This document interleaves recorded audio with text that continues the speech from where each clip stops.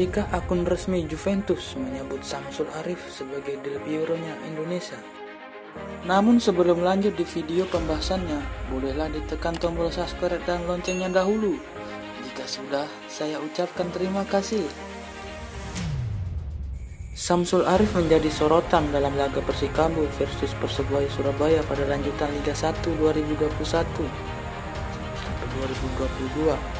Pada pertandingan tersebut, Samsul sukses mencetak hat-trick alias 3 gol.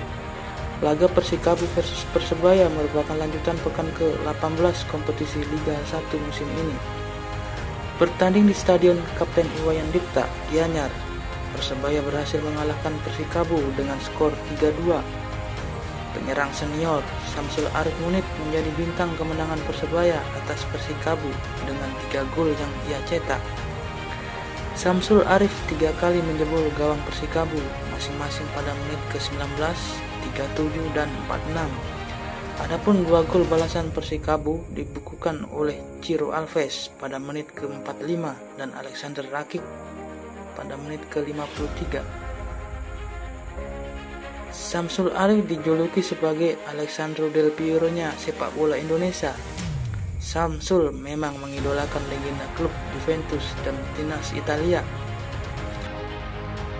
Ketika mencetak gol, Samsul pun sering melakukan selebrasi ala Del Piero, yaitu berlari sambil menjulurkan lidah.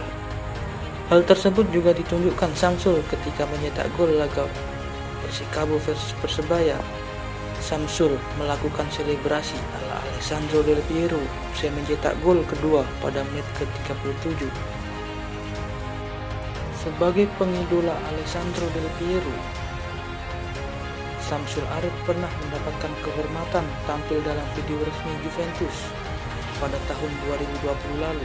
Akun Twitter resmi Juventus dalam bahasa Indonesia membuat video ucapan selamat berbuka puasa kepada Juventini di tanah air. Dalam video tersebut, akun resmi Juventus menyebut Samsul Arif sebagai Del Piero-nya Indonesia. Samsul Arif sendiri musim ini menjadi pemain penting di skuad Persebaya Surabaya. Meski tak selalu menjadi pilihan utama, striker berusia 36 tahun tersebut memiliki peran krusial bagi bajul hijau. Terkini, Samsul Arif mencetak hat-trick untuk membawa Persebaya mengalahkan Persikabo.